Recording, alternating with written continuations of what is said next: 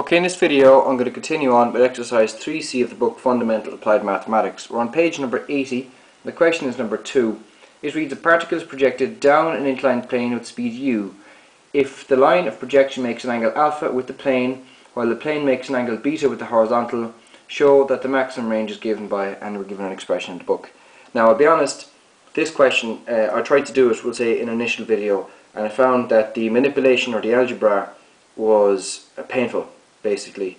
So what I'm going to do here is I'm going to go through the, the uh, resolving the vectors quickly. Alright, uh, we've done this in the past. If it's gone too quickly, just put a comment in the video. But what I want to really do is concentrate on the, the actual the algebra itself and the trigonometry, shall we say.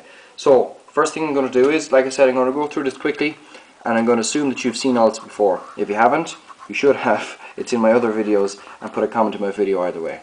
Okay, so the first thing we do is we draw our x and y axis, making our xy plane. The next thing we do is we draw our incline.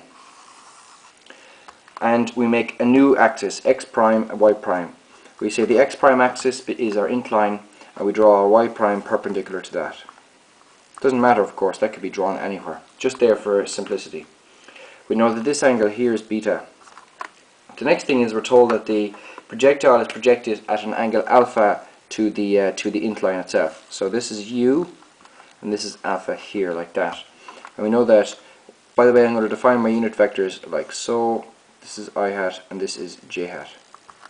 That means this is u sub x prime i hat plus u sub y prime j hat. And we need to resolve the vector alpha into its component unit vectors. They're the two vectors which when added together make the angle alpha and they must be parallel to the uh, to the planes eh, or to the axes x prime y prime. So this vector here is parallel to the x prime. This vector here is parallel to the y prime. So this is u sub y and this vector here is u sub x. So the next thing we need to do is just resolve those. So u sub x becomes u times the cosine of alpha and u sub y is u times the sine of alpha as normal. So the next thing I'm going to do is just make note of that down here. Just bear with me now.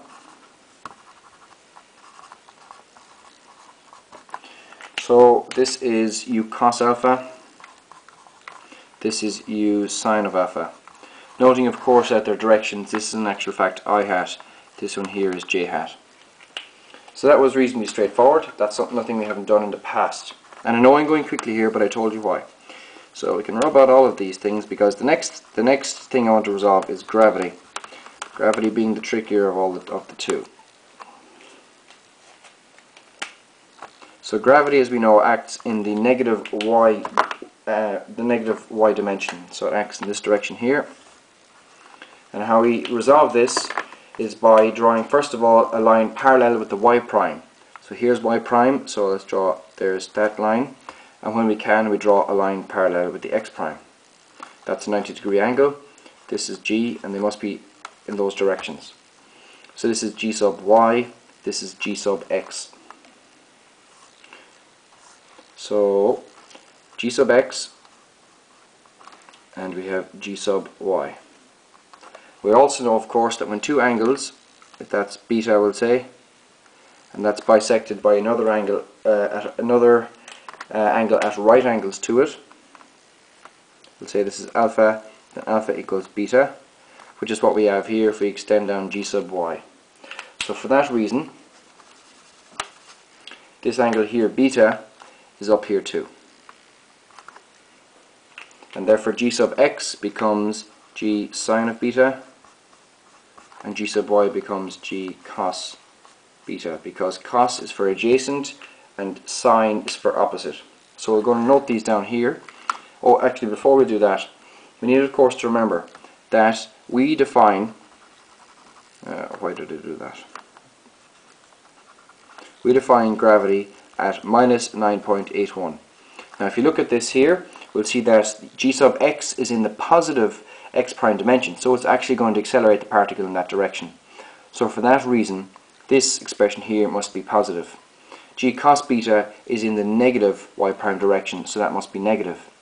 So when we plug in 9, minus 9.81, this will be negative, which is fine. However, currently this will be positive.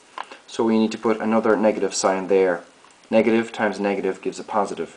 So this is in actual fact minus g sine of beta. This is g times the cos of beta. And remember, like I said in the book, or said, sorry, in the past, the book will do that in the opposite way.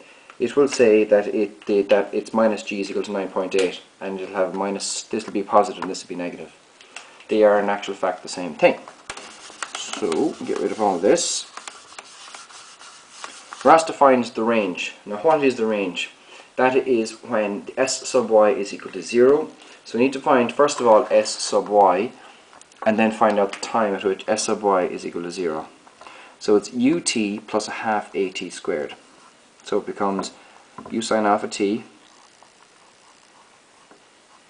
and it's plus half g cos beta t squared. We want that equal to 0. So we're going to say s sub y is equal to u sine alpha t plus a half g cos beta t squared is equal to 0. We're going to take out t.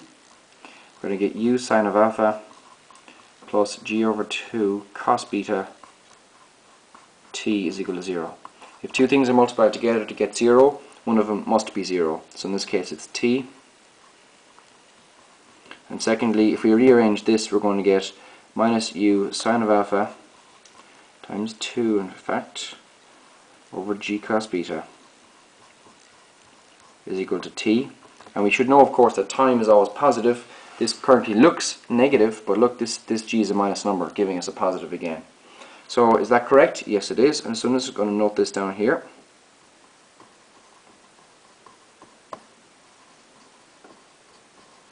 So the next thing we're asked to do is find the range. Now, of course, we've, we found the time at which it's at its maximum range.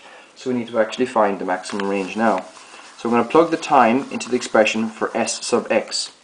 So the expression for s sub x is ut plus a half at squared. So it's u cos alpha t minus g over 2 sine of beta t squared. I'm going to be honest, this is going to take a while, so I'm going to rearrange this on the paper in front of you. So I'm going to write it again up here, so we get u cos of alpha times t minus g over 2 sine of beta t squared, where we know that t is equal to minus 2u sine of alpha over g cos beta.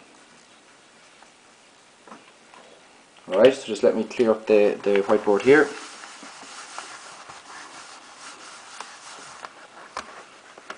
And continue. So the first thing we're going to do, of course, is plug in the value for t. So we're going to get u times the cos of alpha times minus 2u sine of alpha over g cos beta minus g over 2 sine of beta times this squared. So this is going to be uh, 4u squared sine squared alpha over g cos squared beta. Now, this is where we start to get tricky. Like, it's, it's really just a bit of luck because, like, you could do loads of things. You could, first of all, you could divide sine by cos and get, or you couldn't do that, actually, you couldn't. Sorry, you could go 2 times sine alpha cos alpha being sine 2 alpha. But to be honest, I tried that, it wouldn't get me anywhere. So the trick here is actually to, to make this into a cos squared, so we can divide g cos squared on both sides. Alright, so that means if, if we divide by cos squared, cos to make this cos squared, we must multiply on top by cos as well. So let's do that now. So we're going to get u cos alpha, that's actually a minus of course, times 2 that's a square because the 2u squared. Sine alpha over g cos squared beta. And the reason it's cos squared is because I'm after multiplying on top by cos of beta. Alright, and that's minus g over 2 uh, sine beta, g over, g over 2, actually it's not. This 2 cancels that 4, so it's 2 g u squared sine beta sine squared alpha over g cos squared beta. So the next thing is we, we basically add the two uh, expressions there by uh, taking a common denominator, which in this case is g cos squared beta, like so. And we're going to get minus 2u squared cos alpha sine alpha minus 2 uh, this was a g squared excuse me this was a g squared and therefore this g here dies alright so 2 u squared sine beta sine squared alpha. So where do we go from here? Well, we go from here by doing the following. We pull out we pull out 2 u, u squared sine alpha.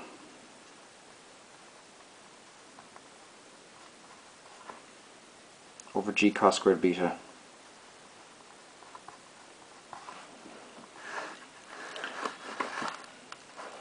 Alright, what does that leave? 2u u squared sine alpha, so that leaves a cos alpha here. 2u squared sine alpha leaves a, a leaves a uh, wait, it doesn't leave cos alpha, it leaves a cos alpha. Uh, look, I'm after making another mistake up here. After missing a sine beta, a cos beta up here. So just let me let me fix this here now. Minus 2u squared cos beta like so. So we get cos alpha, cos beta. Now here, if we take out sine alpha, we get a sine beta sine alpha.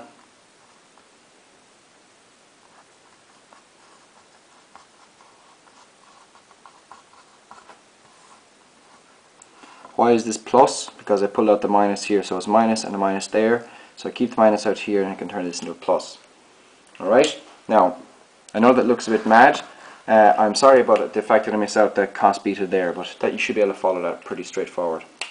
The next thing we need to do is make a substitution. And uh, the substitution is as cos alpha cos beta plus sine beta, or sine alpha sine beta. So uh, that becomes the following. So if we bring it, we need to bring in the, the we need to bring in the two. So we're going to get the following. We're going to get minus u squared over g cos squared beta alright and then we're going to multiply that by 2 sine alpha times cos alpha minus beta now why did I do that? why did I do that? if you look here right uh, this here cos alpha cos beta plus sine alpha sine, uh, sine alpha sine beta if you look up in your log tables, you'll find that's equal to cos alpha minus beta. So this sine alpha is here, and this becomes cos alpha minus beta, and I pull the 2 in here like that. Now, the next thing we need to know is as follows, that 2 sine A cos A is equal to sine of A plus B, excuse me, plus sine of A minus B. That's once again in your log tables, so it's just a matter of looking at it. I'm just going to get rid of that because I'm low on space. And when you apply that to this, you get the following. You'll get minus u squared over g cos squared beta times sine. Now this is where you got to be a bit. You got to be a bit clever and use your algebra and use your brackets correctly.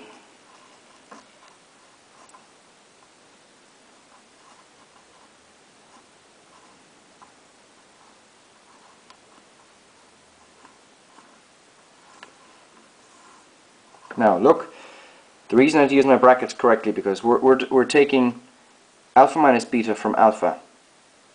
Alright, so that's alpha minus alpha plus beta. So if you don't do your brackets correctly you might make a mistake there. So the alphas here can cancel and uh, the alphas here will cancel as well. Oh sorry, the alphas here will add, excuse me. So what we're going to get finally is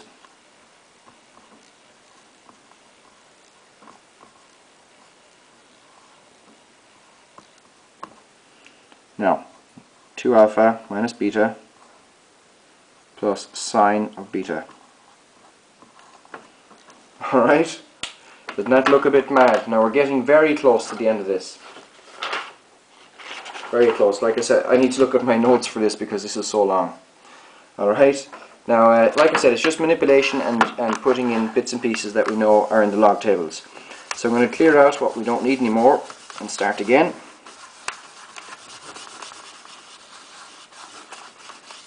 So what we found out there was that minus u squared over g cos squared beta times the sine of 2 alpha minus beta plus the sine of beta is equal to s sub x. Alright? So where do we go from here? Well, what we do is we uh, we need to find out if when it's a maximum. Alright? When it is a maximum. Now, this is tricky. I don't really know how to explain this. Two alpha, let me think now. When is it a maximum? When is sine a maximum? Okay, the first thing you need to do is look at your unit circle in a wire that you can see. So this is my unit circle. We know that if we're talking about sine, sine is 0 here and 1 there. Minus, or 0 here and minus 1 there. So the maximum po possible value you can get for sine is when the when it's equal to 1. So if you want this to be a maximum, this is the expression for the range. So if you want this to be maximum, we want this expression here to be a maximum. Now, of course, if you said that sine beta is equal to 1, well, you're going to get this a, this this mightn't necessarily be uh, make it largest. So what we'll do is we'll say that sine 2 alpha minus beta is equal to 1. If you do that, this is the largest value that sine can be, and uh, this yeah this is the largest uh, value that sine can be, and therefore this will give you your maximum range. So therefore, uh, 90 degrees, which is the sine of uh, the inverse sine of 1, is equal to 2 alpha minus beta. Therefore 90 plus beta over 2 is equal to alpha.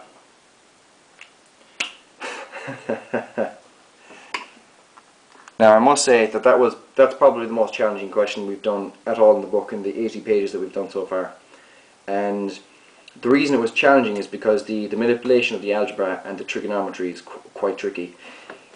If you found that very difficult then I wouldn't worry about it because I'd be like I'd be absolutely shocked if a question like that came up in the exam.